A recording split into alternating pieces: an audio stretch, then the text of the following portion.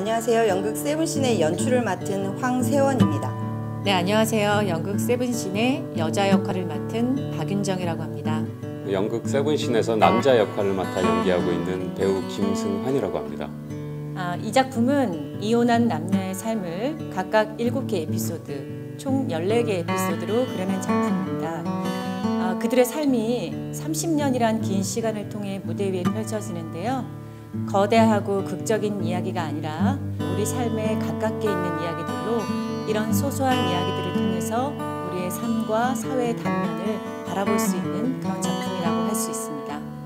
특히 이 세븐신이라는 작품에서는 어, 우리의 일생에서 아주 예측 불가능성을 나타내는 사건 중에 하나인 이혼에서부터 시작해서 끝나도 끝나지 않은 것들, 초대하지 않았지만 이미 도착해버린 어떤 수많은 사건들에 대한 질문, 그리고 우리의 태도, 어, 이런 것들을 다루고 있는 작품이라고 할 수 있습니다.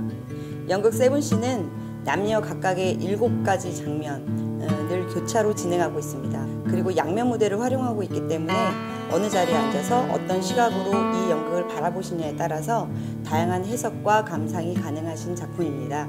어, 남녀 각각의 시선으로 이 작품을 감상하시면 하나의 작품이지만 두 가지 버전으로 작품을 감상하실 수 있습니다. 아르코 온라인 극장? 연극 세븐신 많은 관람 부탁드립니다.